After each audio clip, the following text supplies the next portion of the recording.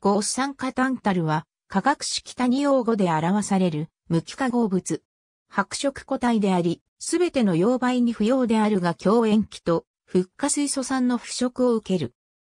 単用語は高い屈折率で低い吸収の不活性物質であり、コーティングに役立つ。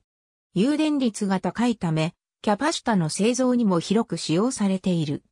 タンタルは、カナルイワペグマタイトで生じる鉱物のタンタル石とコルンブ石で生じる。コルンブ石とタンタル石が混ざったものはコルタンと呼ばれる。タンタル石はアンデシュエケベリによりスウェーデンのイッテルビートフィンランドの木本で発見された。マイクロ石とパイロクロアにもそれぞれ約70%と10%の他が含まれている。タンタルの鉱石にはかなりの量のニオブが含まれていることが多く、それ自体も有価金属である。そのため、両方の金属が抽出され販売される。全体の過程は湿式精錬の一つであり、進出の段階から始まる。この段階では、鉱石は、フッ化水素酸と硫酸で処理され、エ、プタフルオロタンタル酸ジオなどの水溶性のフッ化水素が生成される。これにより、金属を岩石の様々な非金属不純物から分離できる。タンタルとニオブのフッ化水素は、シクロヘキサンやメチルイソブチルケトンなどの有機溶媒を使用した液液抽出により水溶液から取り除かれる。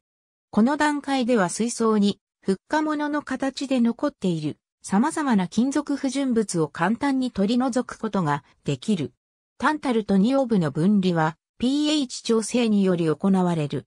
ニオブが有機症で溶解したままであるには高いレベルの酸性度を必要とするため、酸性度の低い水に抽出することで、選択的に取り除くことができる。次に、純粋なフッ化水素タンタル溶液をアンモニア水で中和して、水和タンタル酸化物 X が生成される。これは次の理想的な式で説明されるように、5酸化タンタルに焼成される。自然界の純粋な酸化タンタルは、鉱物単体ととして知られているが、非常に希少である。酸化タンタルは電子工学で頻繁に使用され、多くの場合白膜の形で使用される。これらの用途では揮発性のハロゲン化物、またはアルコキシドの加水分解を含む魔形度により生成できる。五酸化タンタルの結晶構造はいくつかの議論の問題となっている。バルク材料は無秩序であり、アモルファスもしくは多結晶であり、単結晶の成長は困難である。そのため X 線結晶学は主に粉末解説に限られており、提供される構造情報は少ない。少なくとも2つの多形が存在することが知られている。これら2つの形態間の移行は遅く、可逆的であり、線接子1360度の中間的な温度で混合の構造が存在する。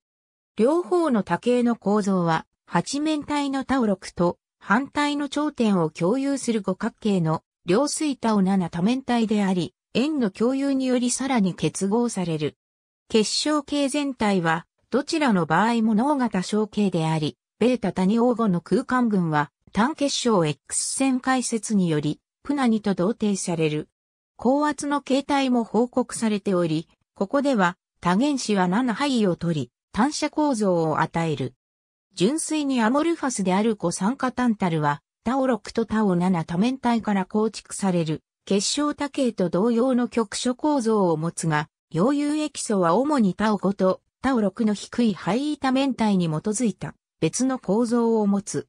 均一な構造の材料を形成することが難しいため、報告されている特性にばらつきが生じている。多くの金属酸化物同様、谷用語は絶縁体であり、そのバンドギャップは製造方法により3.8エブと5.3エブの間で様々に報告されている。一般に材料がよりアモルファスであるほど観測されるバンドギャップは大きくなる。これらの観測値は計算科学により予測される値よりも大幅に高い。比喩電率は50を超える値が報告されているが、普通およそ25である。一般に、5酸化タンタルは、誘電率の高い材料と考えられている。単用語は HCl と HBr のどちらともそれほど反応しないが、フッ化水素酸に溶解し、自式に従って、フッ化水素カリウムと HF と反応する。単用語は、カルシウムやアルミニウムなどの金属還元剤を使用して、金属多に還元することができる。いくつかの10マイクロファラド30、VDC 低角タンタルキャパシタ。固体でエポキシに浸したタイプ。極性ははっきりと書かれている。バンドギャップと比喩電率が高いため、電子工学、特にタンタルキャパシタに様々な用途があることがわかっている。これらは自動車の電子部品、携帯電話、ポケットベル、電子回路で使用されている。1990年代には D ラムキャパシタ用の後継誘電体として酸化タンタルを使用することの関心が高まった。高周波シーモス集積回路のオンチップ金属、絶縁体金属で使用される。不揮発性メモリの電化トラップ層としての用途が考えられる。抵抗スイッチングメモリにおける酸化タンタルの用途もある。屈折率が高いため、谷用語は写真レンズのガラス製造に使用されている。ありがとうございます。